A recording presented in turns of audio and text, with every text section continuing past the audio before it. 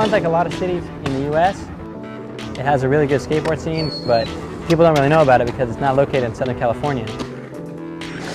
There's a lot of really good skateboarders that live here and really good spots, but you don't see them all the time because there's not a ton of photographers.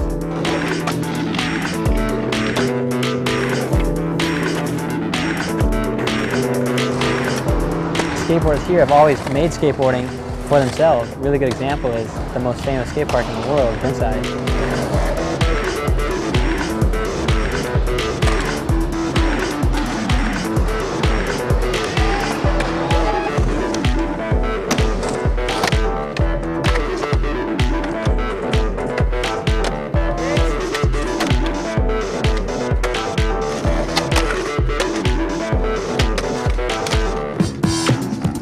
A really tough place for skating because of the weather.